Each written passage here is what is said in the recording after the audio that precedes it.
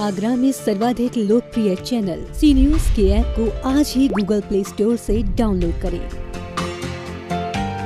ज़िले में वायरल और डेंगू के मरीजों की संख्या दिन ब दिन बढ़ती चली जा रही है। कभी कभी वायरल बुखार में मरीज़ को हड्डियों में इतना दर्द होता है कि इस बुखार को हड्डी तोड़ बुखार भी कहा जाता है। समय रहते इसका इलाज न कराया जाए तो गंभीर समस्या मरीजों में देखने को मिल सकती है। ज़िले में वायरल और डेंगू के मरीजों की संख्या दिन ब दिन बढ़ती चली जा रही है।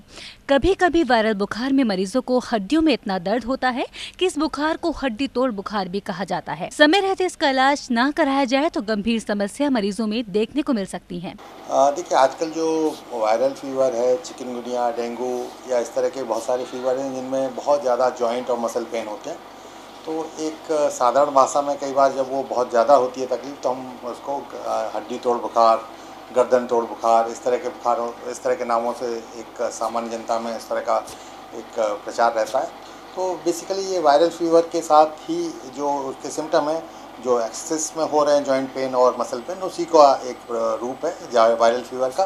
कोई अलग से कोई स्पेसिफिक अलग बीमारी नहीं है। तो मोस्टली ये वायरल फीवर का ही प्रकार है। वायरल को फ्लू इन्फ्लुएजा साधारण बुखार या फिर हड्डी तोड़ बुखार के नाम से भी जाना जाता है। ये बीमारी एक व्यक्ति से दूसरे व्यक्ति में बहुत आसानी व बड़ी तेज़ी के साथ पहुँचती है। इसके विषाणु एक से दो दिन या कभी कभी कुछ घंटों में ही सक्रिय हो जाता है। हाँ देखिए ऐसा है। सामान्यतः तो जैसे वायरल फीवर ठीक होता है वो सिम्टम्स दूर हो जाते हैं। लेकिन कुछ लोगों को कुछ लंबे टाइम तक ये चल सकते हैं। तो उनके लिए कुछ सिम्टोमेटिक ट्रीटमेंट दिया जाता है। और अगर कुछ ज़्यादा लंबे टाइम चल रहे हैं तो कभी कभी हमको लो डोज में स्टेरॉइड भी देने होते हैं। लेकिन ज़्यादातर मरीज़ इसके रिकवर हो जाते हैं। वायरल बुखार के लक्षण अन्य बुखार के समान ही होते हैं जैसे तेज बुखार सर दर्द बदन में दर्द तेज सूखी खांसी जुकाम गले में खराश छींक आना नाक व आँख से पानी आना आदि। इस बुखार में शरीर का तापमान 101 डिग्री से 103 डिग्री या फिर ज़्यादा भी हो जाता है।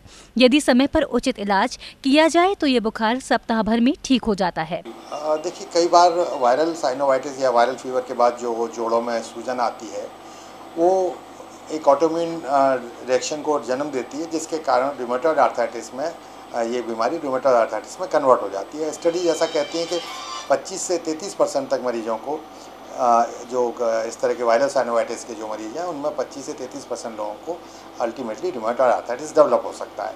और रिमोटॉइड आर्थराइटिस एक इस तरह की बीमारी है, जो कि हमें जिसका ट्रीटमेंट कभी कभी पूरी ज़िंदगी भी लेना पड़ सकता है।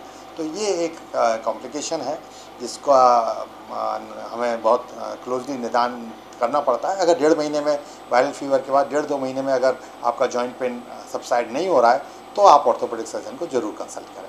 अचानक बुखार आना, सर दर्द, बदन दर्द, गले में खराश, नाक में खुजली होना पानी आना आदि वायरल के सामान्य लक्षण है। ये ज़रूरी नहीं है कि सभी में वायरल के एक जैसे ही लक्षण दिखाई दें। कुछ मामलों में रोगी में सर्दी, खांसी या बलगम जैसे कई लक्षण नहीं होते हैं। बस उन्हें अजीब तरह की बेचैनी महसूस होती है, हरारत महसूस होती है तथा उनकी भूख खत्म हो जाती है। यूँ तो इन संक्रमणों का असर ज़्यादा दिनों तक नहीं रहता, परंतु यदि संक्रमण बहुत गंभीर किस्म का हो तो वह फेफड़ों को भी प्रभावित कर सकता है। सी न्यूज़ के लिए लक्ष्मीराज सिंह की रिपोर्ट।